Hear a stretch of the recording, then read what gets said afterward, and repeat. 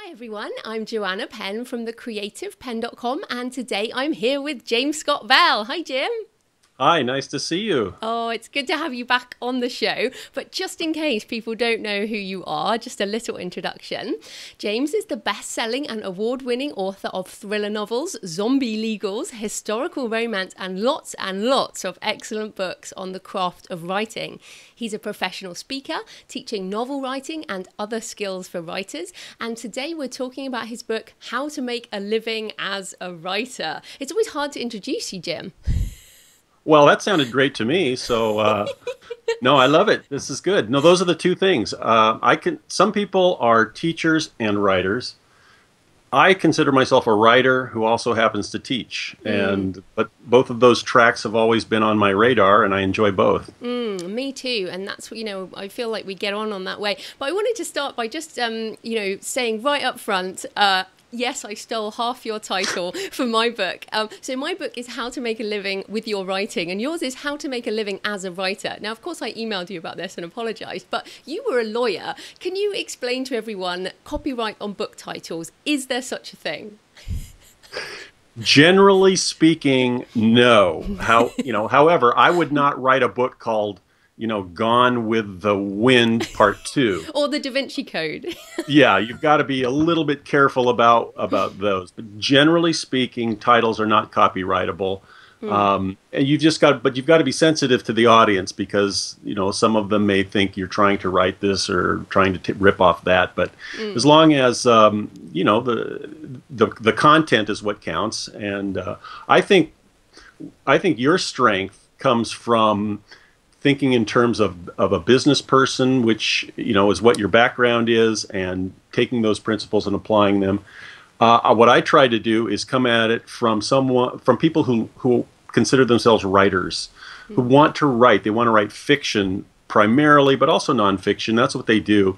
And then I wanted to help them incorporate business principles because I have an entrepreneurial background too in in order to support their writing. So I think if you put these two books together, you have a graduate course in making a living. Oh yeah, and I love it. And and also I was wondering if you think the same way is that I think there's been a maturity in the indie market. These books were never around before. There never were business books for authors, were there? It's there's been always craft books, but do you think that's because authors are becoming more mature or the indie market is maturing? Well, it, it's partly that there was a, there was a niche in the uh, old world. we'll call it the old world pre two thousand seven, called the freelance writer market, and mm. the the people who made it as freelance writers were those who understood how to produce work, how to research the market, how to find niches, and so some of those basic principles from that that era do apply and now that we're now we're trying we're picking these things up and giving them to indie writers so that they understand that it's uh, partly business, partly creativity, partly marketing, and you put you put all those things together, you have the best chance of making some real income. Mm. And and um, that was more for nonfiction writing though was it? Primarily I mean, yeah was it i mean dean wesley smith, smith talks about the pulp writers um, right. but but for fiction writers there hasn't really been that much business education has there? Certainly not in the that, mfa space. That's right that's right. The old pulp writers primarily survived by being very prolific hmm. and and then find finding markets. So it, when they had pulp magazines that, that, covered all kinds of genres from adventure to detective and so on, you know, they would look at that market and they would try to write to that market. But being prolific was what counted. Now, some of that is true today for indies, is that it's it's quality and production over time that really is the key to the whole thing. I think. Hmm and uh, and you are prolific, I would say. I think you know you have lots of books coming out, fiction and non-fiction. And a year ago, you were on the show uh, talking about one of your um, your dialogue books. Um, but what what's happened with you over the last year? Because what I love to see is you know even experienced writers are learning new things, aren't they? So what what have you tried in the last year that that you're interested in right now? Well, I think you know the, the the basic fundamental for me is always to to keep up the production in a way that uh, doesn't sacrifice quality. What I call quality. That that term, of course, is open for uh, interpretation. It doesn't. I'm not necessarily talking about literary quality that would win some kind of uh, literary award. I'm talking about when you tell a story, no matter what genre you're in, you do things that make that story connect with readers. That kind of quality is the is the main thing. Uh, I think over the last year, I've um, I'm participating in a boxed set uh, of, of writing books. That is one way to gain a lot of exposure for your material. Uh, and another major feature for indie writers, of course, are these deal uh, alert newsletters, where you know BookBub is the the primary one. It's the big one, but it's very selective, so it's hard to get into. Can be frustrating for newer authors and so on. But there are a number of others, and I think a systematic use of those mm. is a wise idea because they're not very expensive. And even if you even if you don't make back that initial investment, which is usually very small, over time you're going to make new readers from those, and those new readers have a value. So really, you're kind of investing for the future, and that's what you need when you're starting out, especially, is to get readers reading your work, mm-hmm. and then your work has got to do the heavy lifting. That mm-hmm. never changes. Mm. And you uh, you were saying that you you've done a book trailer this time, and uh, you know book trailers go in and out of fashion, and I've actually done some recently too. Why have you done a book trailer now? Okay, well, I am about to release a new thriller that is uh, the start of a new series, and my son is a videographer and film professor, and he he suggested, "Why don't I do a trailer for you?" The price was right. Oh yeah, uh, fair enough.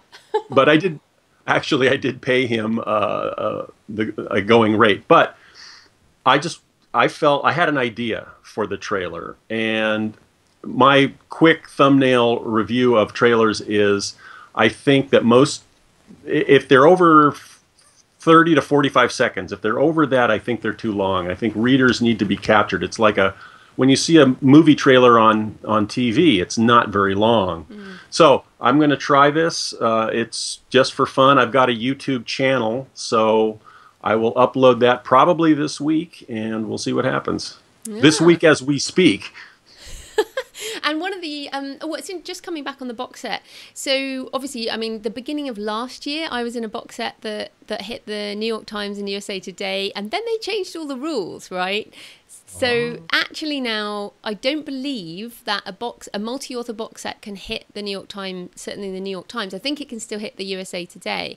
Um, so what is and, and I, I know that a lot of goals are really important. What is the goal to just get more readers or what is the goal going into the box set for you guys?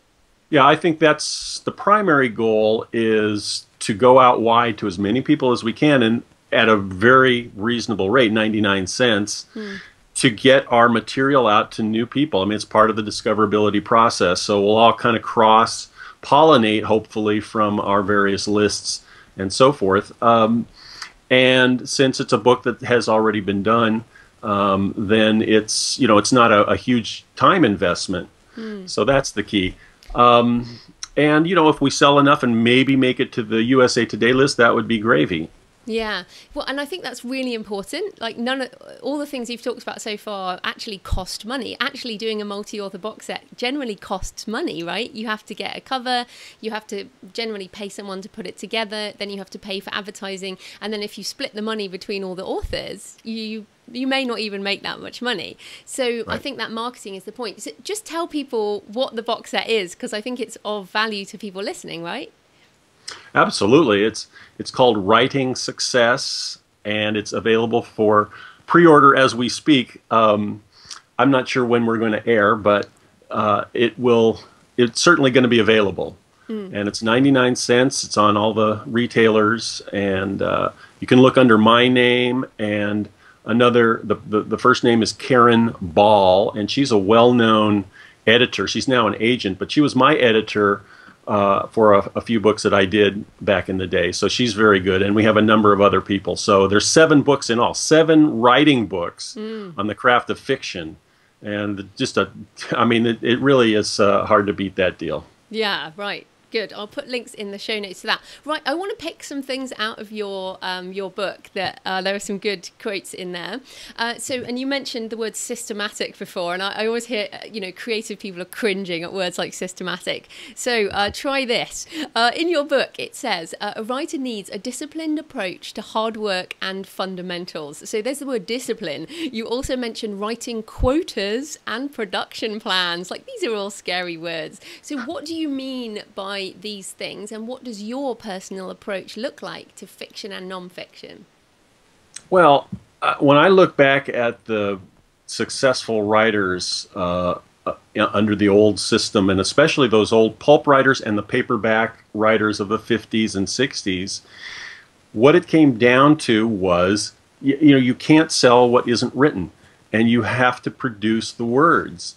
I the best advice I ever got in my opinion, was very early in my career, was to write to a quota. Now, I know some writers get, you know, the creative types get very nervous about that because they they think it somehow impinges on creativity, but it doesn't. The opposite is true. It forces you to be creative, mm-hmm. and that's what a professional is. A professional is someone who does the work, even when they don't feel like doing the work. Mm-hmm. So my advice always to writers is figure out you know you have all kinds of lives out there people you know with family responsibilities day jobs and so on.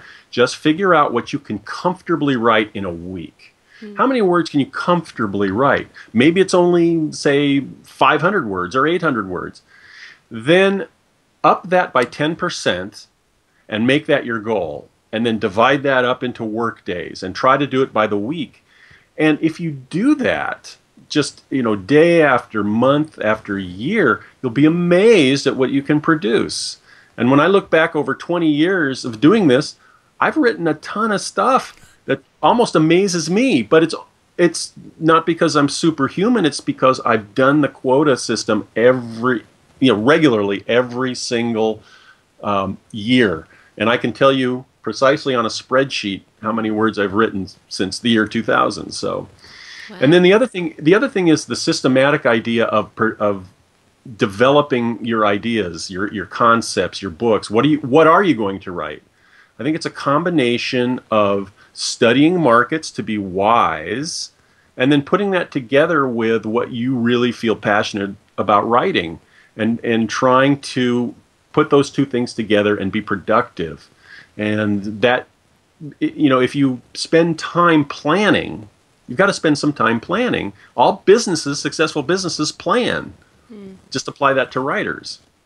It's funny i've uh, i've have in the last couple of weeks been I started co-writing for the first time.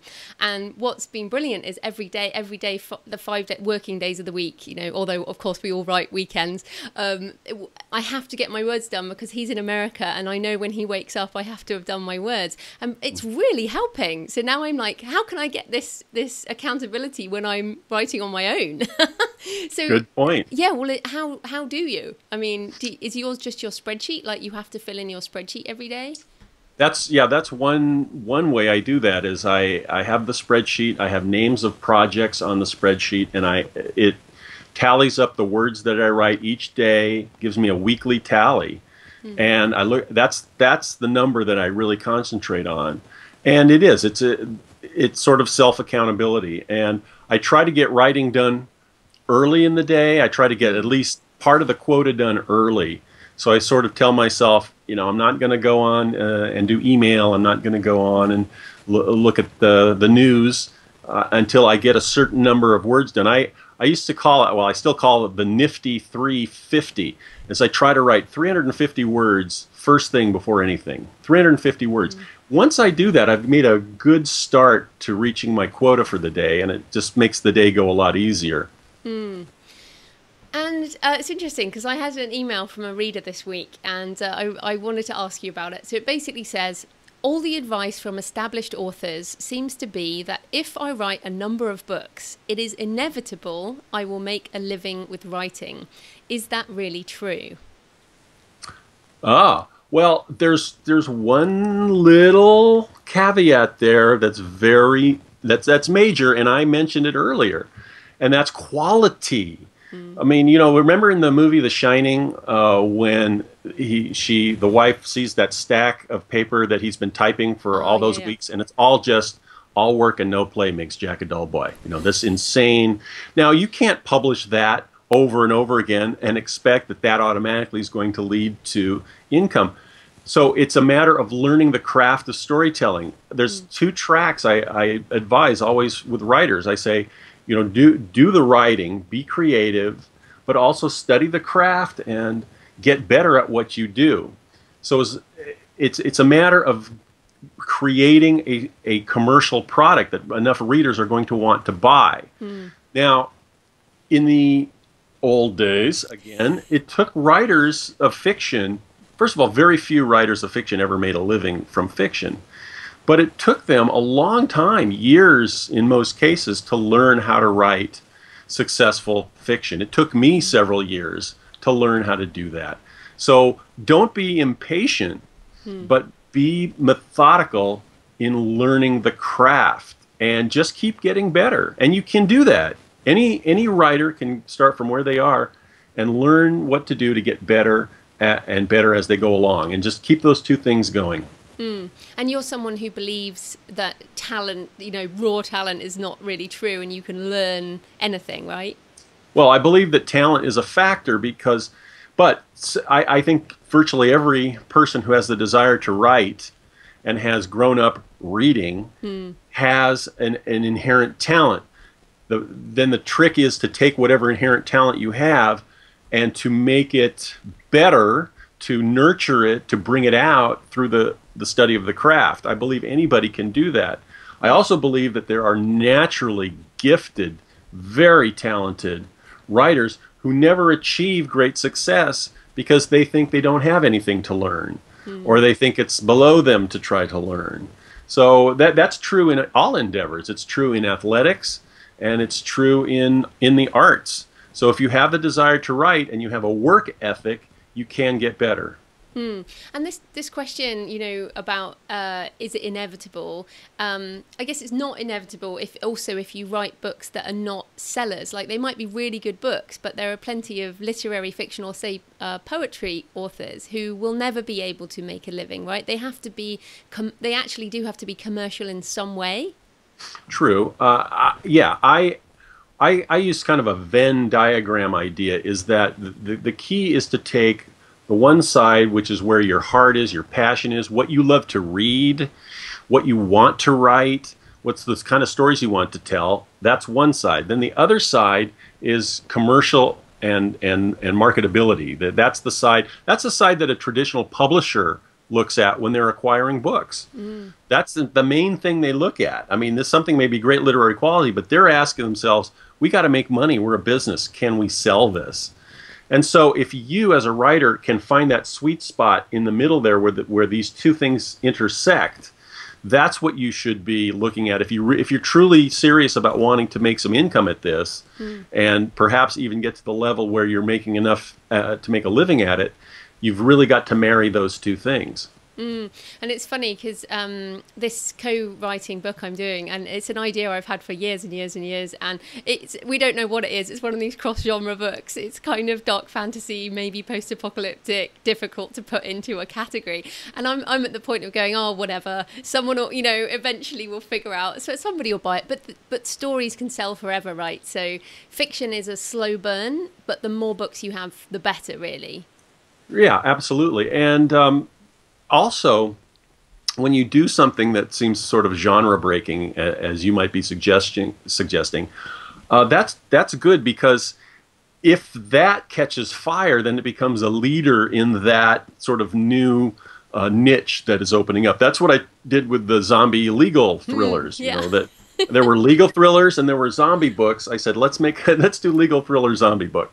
So um, I enjoyed doing it, and so that's that's what you need to do. Yeah, like you said, you need to have fun. You need to be creative, and then you also need to think about well, where where can I where can I market this? And uh, if it's if it's great storytelling, it will it will find some foothold. Mm, and I'm definitely having fun with this one. It's uh, it is it's in it's I think that comes through, doesn't it, in the book when you're actually having fun that will communicate to the reader and they'll probably Absolutely. enjoy it more. So and I think I've only began begun to have fun because I've relaxed a bit. So That's good. And you presumably I, did writing zombie legals, right? I mean, you don't take yourself too seriously. I absolutely believe that when you have fun, it, it, there was an old um, writing text that I found from 1919 on the fundamentals of fiction by this professor. You know, and one of the things he said was that there's a certain joy that you sense in people who who are telling stories that they love to tell. He pointed to Robert Louis Stevenson and Treasure Island, and I would point to Edgar Rice Burroughs mm. and his books about Tarzan and his books about Mars. He's having fun telling this story and weaving this yarn.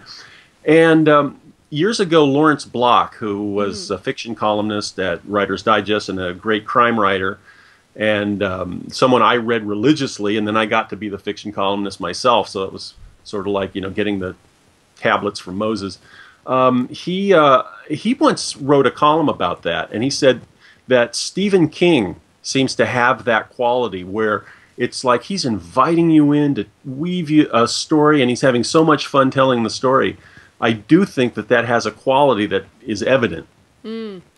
Is, is Lawrence Block the guy who also wrote uh, erotica as a woman?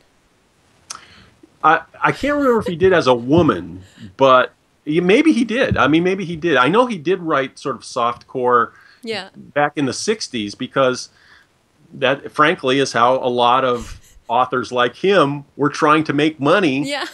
while they did their legitimate work so yeah, I think he's the same guy. Yeah, and, and I'll, I'll find a link and put it in the show notes. But that is actually happening a lot now. There are a lot of people who are using pseudonyms and are quite, you know, literary authors by day and are writing other things um, by night, I think. And like, and that's what's so great right now, isn't it? We can write these different things. So I wanted to ask you about that because um, you write nonfiction and you also write fiction. And I do get lots of questions where people say, how can how can a nonfiction writer, like someone who is used to writing, I guess, truth or opinion, or you know, within that in the way that you have to write nonfiction.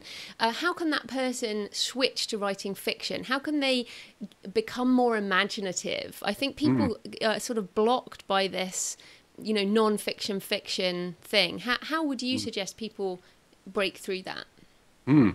Interesting. Um, well, I think nonfiction writers like any other kind of writers, technical writers, people who write for computer magazines, whatever it may be, they have to learn the craft just like everybody else. They they have to learn the fundamentals of storytelling, which um, are easy to understand if they're if they're taught in the right way. But then they have to be practiced, and so for a nonfiction writer, I think maybe the strength that they can bring is their attention to detail. And one of the things that a good fiction writer will do is be able to put in realistic and significant detail in writing of their scenes and so on. But I would suggest that the, the uh, an exercise called writing practice, which is where you begin very early in the morning, or you know, as soon as you can, you you write without stopping for five minutes, five ten minutes.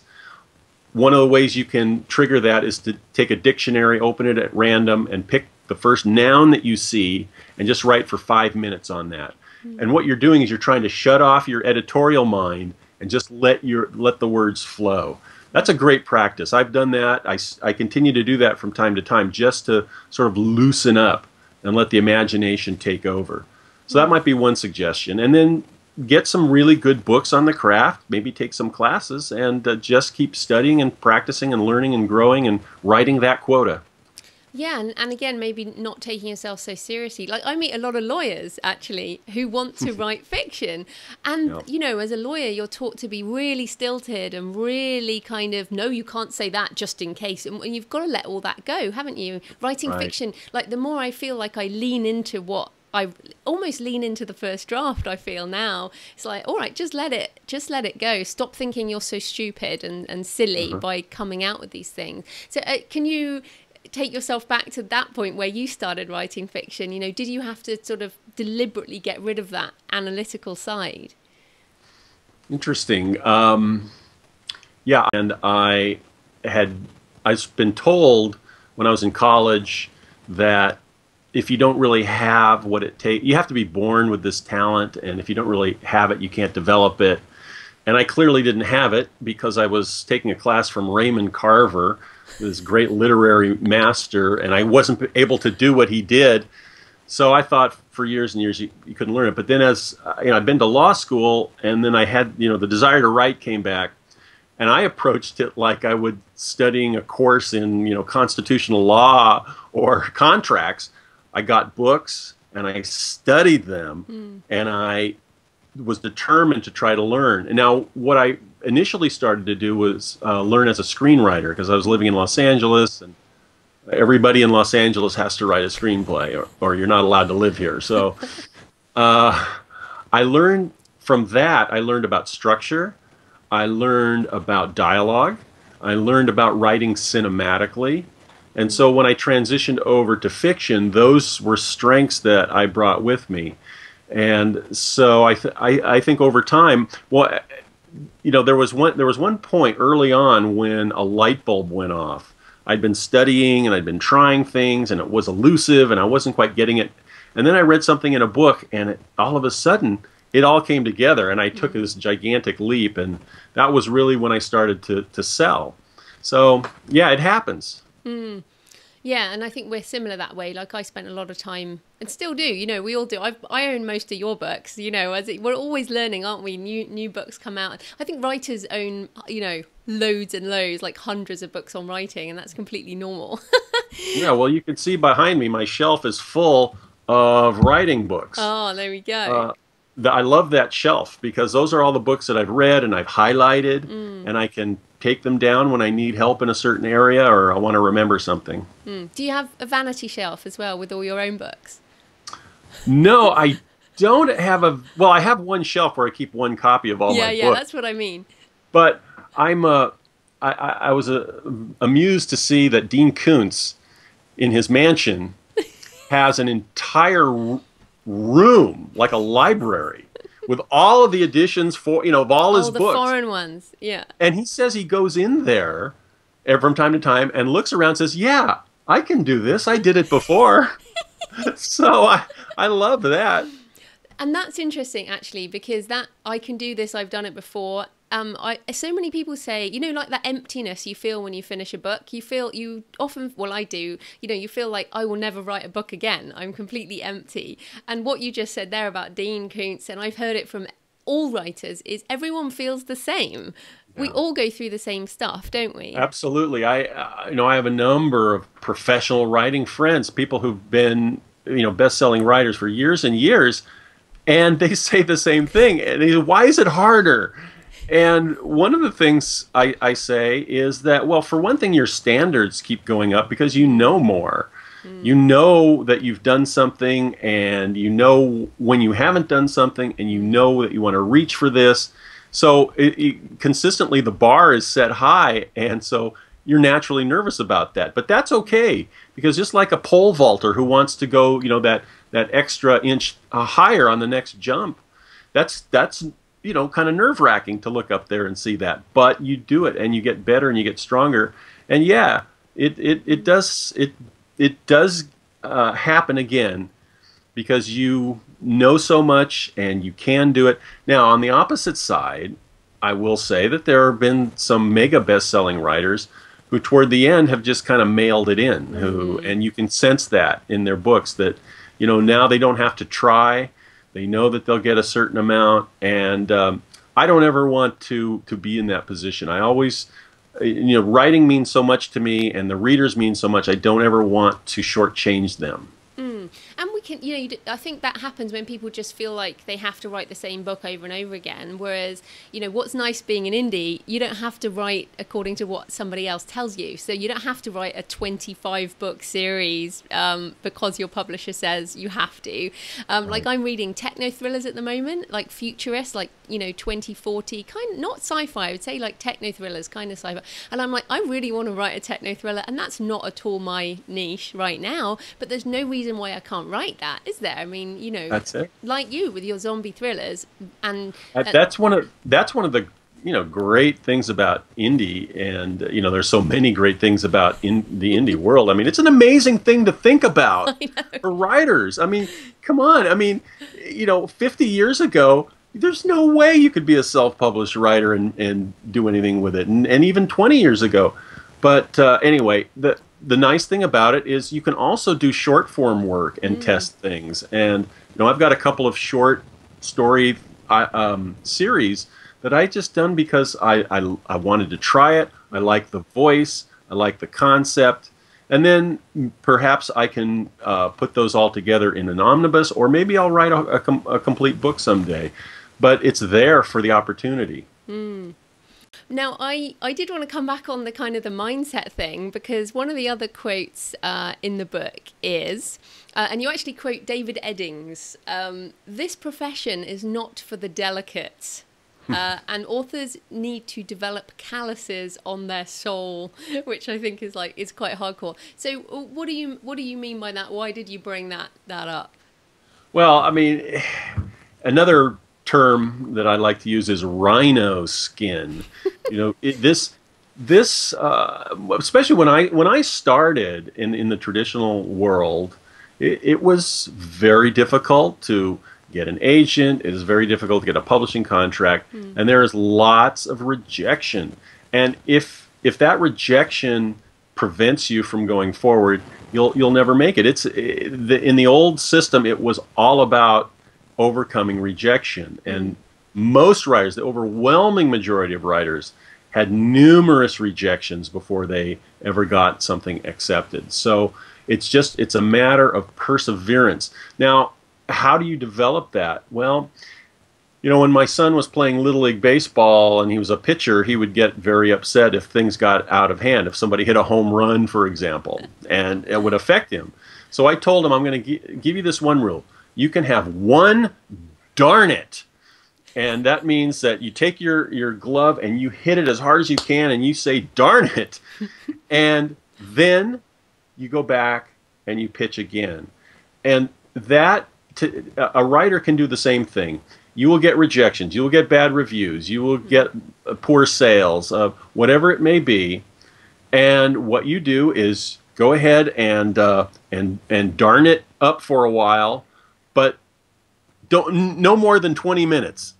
And then that you get 20 minutes, and then immediately write something whatever it may be, write uh, an, uh, an idea down, a new a new idea for a book, work on a new project, write something in a journal. Mm-hmm. But that get the get the writing muscle going again, and that helps to crowd it out. And that's really what it's all about. You got to keep coming back and and producing, and you you can do that. Anybody can do that. Mm. And I think this is the thing. It's very hard when you've just got one book uh, or two books or three books. Um, right. But you know, I've got fifteen now, and plus another three that have been withdrawn. You've got how many books have you got now? Like, I don't know. it's got to be um, thirty. Plus. Yeah, I, I mean, perhaps, perhaps yeah. that that's what's available. I haven't counted. But. Yeah, quite a lot. And and when it gets to a point where you don't have to care about individual books. I think mm. it that helps, doesn't it? The problem is by the time you get to that point, you've gone through a lot of the um, that those negative things you've talked about. So, I in the way, do you think it does get easier as you have more books in terms of that feeling so attached to them? Issue? I think so. I think so. Um, there used to be sort of a rule of thumb in the traditional book world for novelists that it took five novels mm. it, to get established. It, it you, you, had to really write that many, and you know there were exceptions, of course. There were there were books that did really well out of the gate, and then there were books that were supposed to do really well that didn't. Mm. But really, you had to think in terms of five books, and that that was a a seven or eight year period usually because you know a book comes out from a publisher maybe every 18 months at that time. Mm. So what um, indie writers who really are serious about this need to remember if they're just starting out is it does take years to build to a certain point. Now, in the indie world, you have the ability to move that schedule up because mm. you can produce, you can publish faster than a, a traditional publisher can. But you have to have a certain degree of patience and you have to understand that it's going to take a while. And then along the way, you have to do everything with the best quality that you can, and that not just the writing, but you know the cover design and the the book descriptions and all of those things that we as indies talk about. Mm. Right, so you you did mention like the traditional world there, and I, I wanted to ask you: Would you ever consider? I mean, or are you still a hybrid in terms of you have traditional publishing deals, or you know, what are your feelings about that right now? Well, I do have. Uh, I just finished a, a, book for Writers Digest Books, another book on writing, and the reason for that is that I like the company. They we negotiated a good contract. I got good terms from them, and I thought that I thought it was a fair deal. And they know how to move writing books and so on. So those that was a consideration, and I've I've worked with them before. I like them, and uh, so as far as fiction writing goes, as you know, as we all know, it's a very challenging time both for both traditionally published fiction writers and the companies. Mm-hmm. You know, the Authors Guild has come out with this big push to try to get quote unquote fairer contract terms for authors. And there are a whole number of terms that publishers have been holding firm on, but that's because they have to. In their business, their business is so challenging now. They it's economics. They really they're in a tough spot. They can't give away the store, uh, so to speak. So, from my my perspective, it would always depend on the offer, the terms, and so forth. What I like about indie publishing is that I own the rights forever. Um, I can control the quality. I can publish when I'm ready. Mm-hmm. I can produce what I want. Um, so certainly, no no author closes the closes the door on all the options. See, that's what it's all about. We've got options. Hmm. So, but right now, I think if, if new authors want to go the traditional route, be sure to educate yourself on what the contract terms are, what the standard issues are, and work with your agent and um, do what's best for your career. And uh, there's still a traditional publishing industry and they still produce books and some of those books do very well. Hmm. yeah so uh, basically what you're saying is you're you're weighing it up on a case by case basis um, absolutely and choosing things that work for you as a business not an emotional decision. Well that's exactly right. You know it is for example um, a dream of many writers to see a printed book published by a big New York company. Okay, that's an emotional thing. It's a it's a nice thing. I mean, I loved it. Mm. You know, you get a box of those books and there it is and but then those books have to sell. Those books have to be on a shelf. Mm. You know, that's another dynamic that the book book shelf space is is shrinking out there. So ra- don't be just emotional about the decision. Certainly, emotion can play a part, desire and dream can play a part, but also this is a hard headed, uh, numbers driven business. It certainly is for the publishers. So they will nurture your dream until it's costing them money, and then they won't nurture it anymore. So be sure you take that into account as well. Mm. And then just looking forward, because uh, you also talk about, uh, you also say a successful business makes a profit. To make a profit, you need a plan. So, um, given that we're seeing changes every single month in the indie world, uh, what does your plan look like for the next year or two? What do you see coming? Well, I, you know, number one, I do have a, a master projects board, a cork board. Uh, it's a it's a virtual cork board in Scrivener.